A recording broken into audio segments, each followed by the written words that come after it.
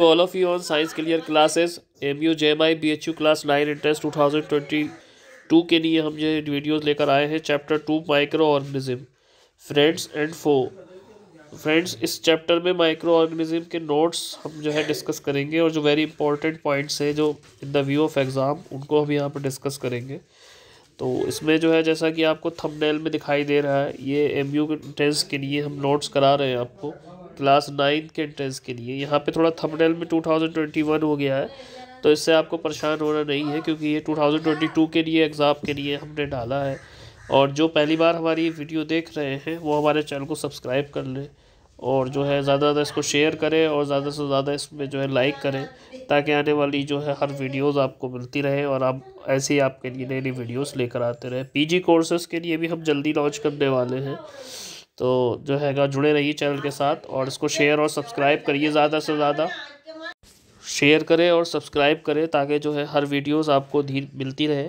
तो स्टार्ट करते हैं। लेट्स स्टार्ट टूडेज़ वीडियो पहला जो पॉइंट हमें क्लियर करना है, वो है माइक्रो ऑर्गेनिज्म होते क्या है? माइक्रो ऑर्गेनिज्म जो है बहुत स्मॉल होते हैं और बहुत बिल्कुल विजिबल नहीं होते हैं। हमारी नंगी आँखों से विजिबल नहीं होते।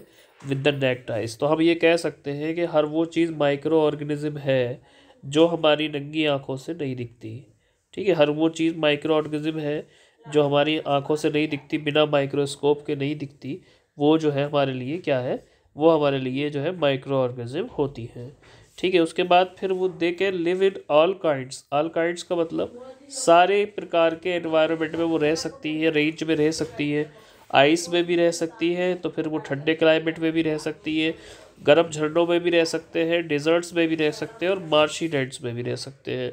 तो जो माइक्रो ऑर्गेनिज्म है, उनके अंदर ये ख़ास क्वालिटी होती है कि वो even the temperature ranges even the state ranges even the type of any सब एनवायरनमेंट दे कैन सर्वाइव वो हर तरह के सर्वाइव में एनवायरनमेंट में सर्वाइव कर सकते हैं, ठीक है?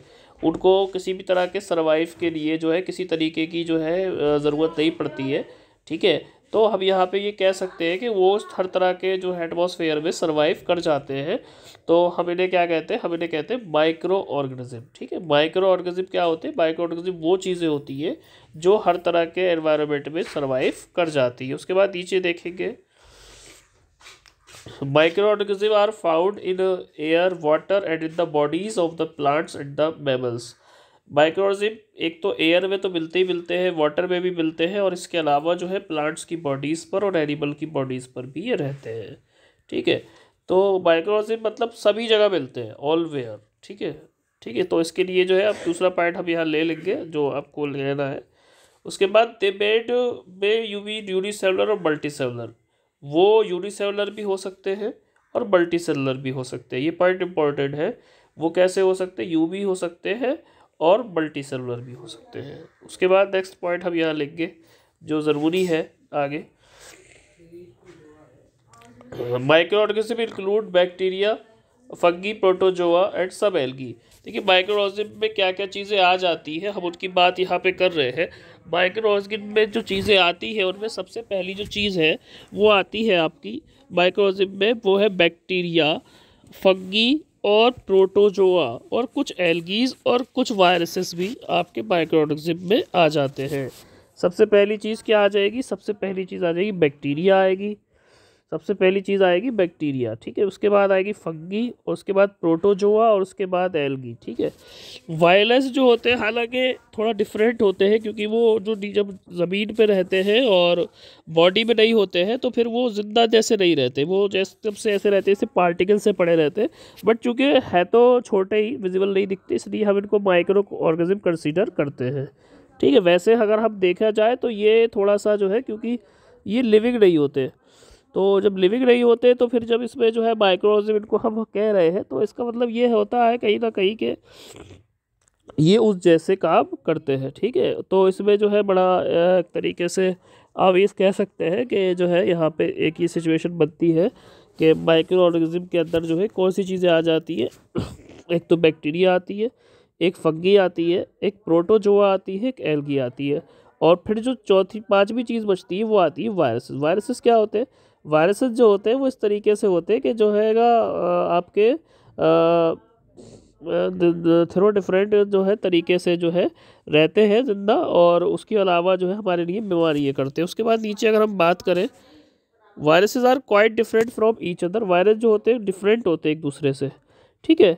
They produce only inside the cell of the host organism जैसा मैंने अभी पीछे बताया आपको कि वो जब तक तो डेड रहते, जब तक वो बाहर रहते, लेकिन जैसे ही उनको होस्ट मिल जाता है, अब ये होस्ट जो है क्या होता है, जिसके थ्रो वो अपना एक्शन कर रहे हैं, ये होस्ट प्लांट भी हो सकता है और ये होस्ट एनिमल भी हो सकता है। तो अगर ये इन्हें मिल जाता है तो ये फिर इसके थ्रो जो है अपनी एक्शन को कंप्लीट कर लेते हैं और इसके थ्रो जो है अपना एक्शन कंप्लीट कर सकते हैं।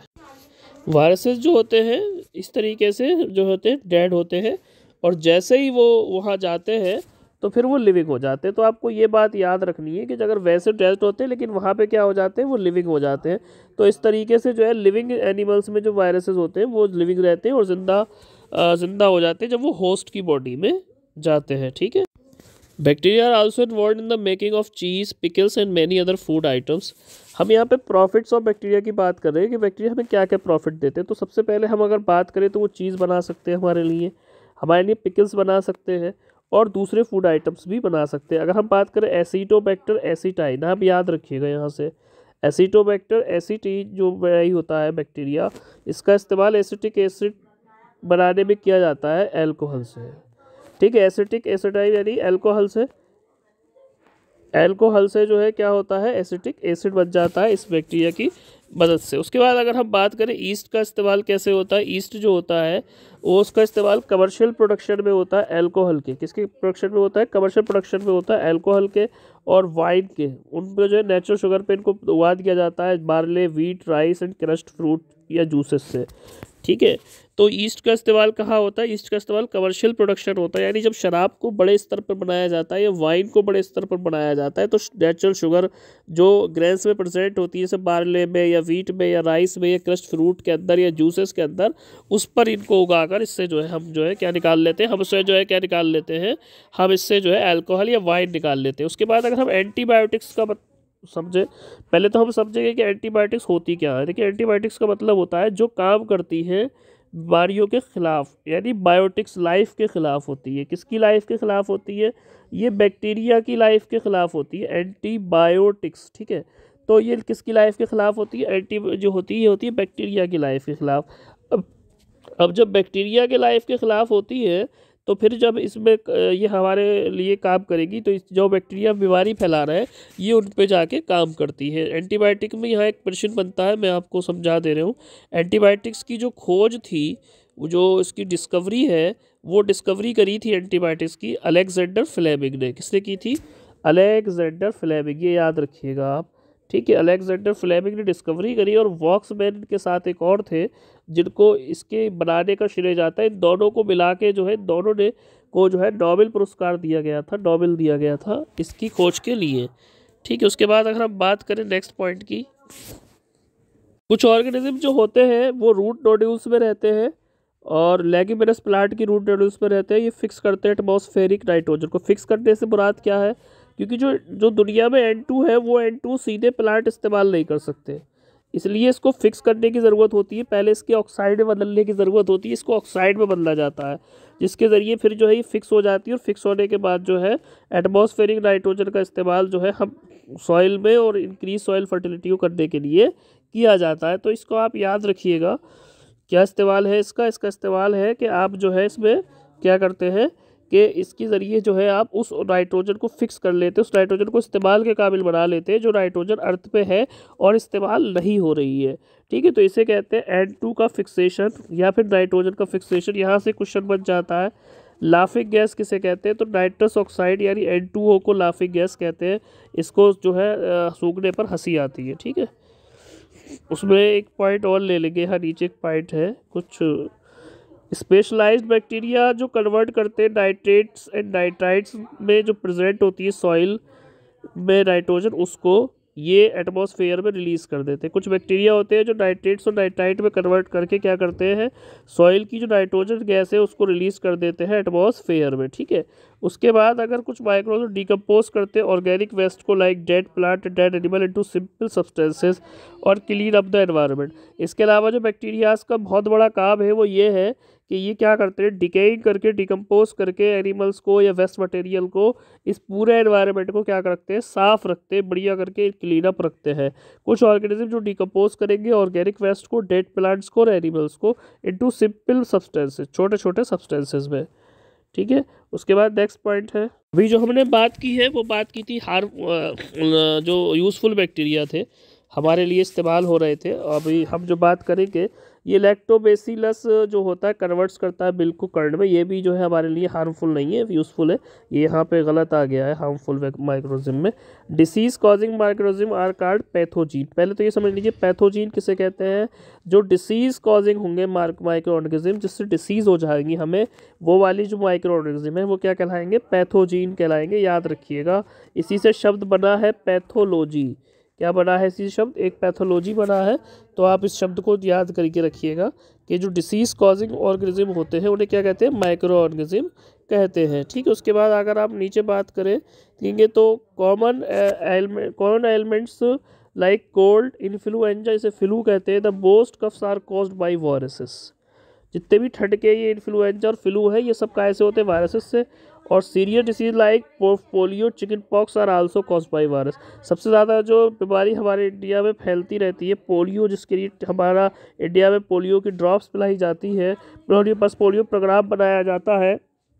वो जो है, सबसे ज़्यादा हमारे लिए इंडिया में बड़ा जो है जो है, दुख देता है हमारे इंडिया में। और चिकन पॉक्स जो है, इस सब, ये भी सब जो है वायरस वायरस डिसीज़ है। इसमें एक इंपॉर्टेंट डिसीज़ और हो जाती है, वायरस से होने वाली एड्स। जिसको जो एड्स कहते हैं, इस ये भी यहाँ पे पढ़ना ज़रूरी है। एक्वायर्ड ए से ई आई से इम्यूनो डी से डेफिशिएंसी एस सिंड्रोम फिर से देख लीजिए एक्वायर्ड इम्यूनो डेफिशिएंसी सिंड्रोम मैं आपको यहाँ लिख के दिखा रहा हूँ। Acquired immunodeficiency syndrome acquired ठीक है एक्वायर्ड इम्यूनो डिफिशेंसी सिंड्रोम ठीक है। इम्यूनो डेफिशिएंसी और एस से है आपका सिंड्रोम एस से क्या है आपका? सिंड्रोम है तो इस तरीके से ये आपका जो है क्या हो गया? ये आपका जो है एड्स भी जो है, एक तरीके से वायरल डिसीज़ है।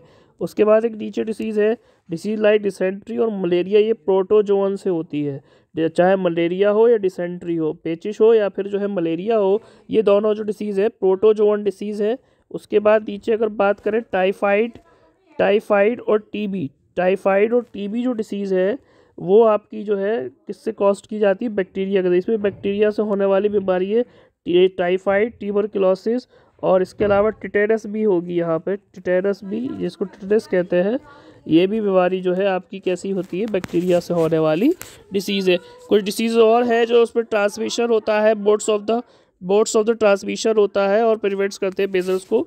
ठीक है, उसके जो है यहाँ पे ले लेते हैं। ये हमने एक बहुत अच्छा चार्ट सा बना रखा है। देखिए, जैसे ट्यूबर क्लॉसिस है यहाँ पे सबसे पहले। ट्यूबर क्लॉसिस की अगर हम बात करें तो ट्यूबर क्लॉसिस बैक्टीरिया से होगा। मोड ऑफ़ ट्रांसमिशन एयर होता है।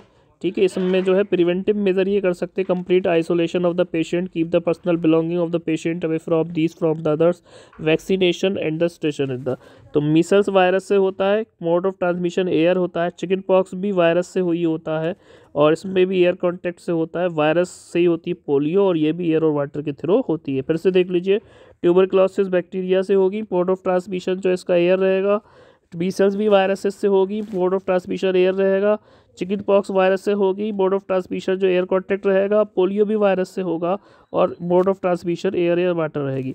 उसके बाद अगर कॉलरा की बात करें तो ये भी बैक्टीरिया से होगा mode of mode of transmission water या फ़ूड होगा टाइफाइड भी बैक्टीरिया से होगा, इसका मोड वाटर होगा।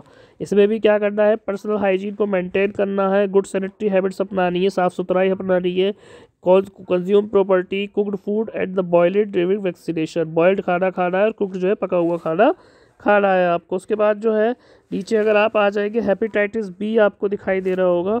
हेपेटाइटिस बी वायरस से होता है और वाटर के थ्रू होता है इस पर गर्म पानी पीना चाहिए और वैक्सीनेशन करवाना चाहिए। अगर हम मलेरिया की बात करें तो मलेरिया प्रोटोजोआ से होता है, एक मक्खी, एक मच्छर होता है, जिसको फीमेल एनाफिलीस कहते हैं लिखा हुआ है। ठीक है, इसके लिए आप मॉस्कीटो नेट लगाइए, मच्छरदानी लगाइए रिपेलेंट स्प्रे लगा दिए इंसेक्टिसाइड डालिए, या फिर ब्रीडिंग ऑफ़ मॉस्किटेशन लगाइए, जिससे आपकी सराउंडिंग जो है अफेक्ट ना हो। तो इसमें जो है, जो मोस्ट इंपॉर्टेंट चीज़ थी, कुछ और नीचे भी पॉइंट्स हैं जो आपको यहाँ समझने हैं। Foot and mouth disease of the cattle is caused by a virus जो फूट और माउथ डिसीज़ होती है कैटल में वो एक वायरस के थ्रू होती प्रेशर आ चुका है व्यू में एंथ्रैक्स एक बैक्टीरियल डिसीज़ है जो वेरी फैटल है, और ह्यूमन के नहीं और कैटल के नहीं। उसके बाद कुछ कॉमन डिसीज़ हैं जो प्लांट्स के ज़रिए होती हैं। माइक्रोजिम की वो हम जो है नेक्स्ट लेक्चर में डिस्कस करेंगे, क्योंकि ये लेक्चर वन है हमारा। जो नेक्स्ट लेक्चर आएगा, उसमें लेक्चर में हम ये डिस्कस कर लेंगे। फ्रेंड ये इस चैप्टर का फ़र्स्ट लेक्चर था, और जो इस चैप्टर में चीज़ें रह गई है, हम वो आगे वाले में डिस्कस करेंगे। और यहाँ पे जो है 2022 है क्योंकि ये पार्ट वन था। कौन सा पार्ट है ये? ये पार्ट वन था। हम पार्ट टू कर भी लेकर आएँगे आपके लिए जल्दी। तो जुड़े रहिए चैनल के साथ और उम्मीद करते हैं ये नोट्स आपको पसंद आए होंगे। और इसमें जो चीज़ें आपको अच्छी लग रही है, उसको आप जो है इसका स्क्रीनशॉट ले लें या फिर जो है आप इसको अच्छे से हमारे चैनल के थ्रू पढ़ें। और जो है नए व्यूवर्स जो है, इसको सब्सक्राइब कर लें और शेयर करें। Thank you very much to watch the full videos और आगे जो है प्रिपरेशन तैयारी रखें ठीक है? All the best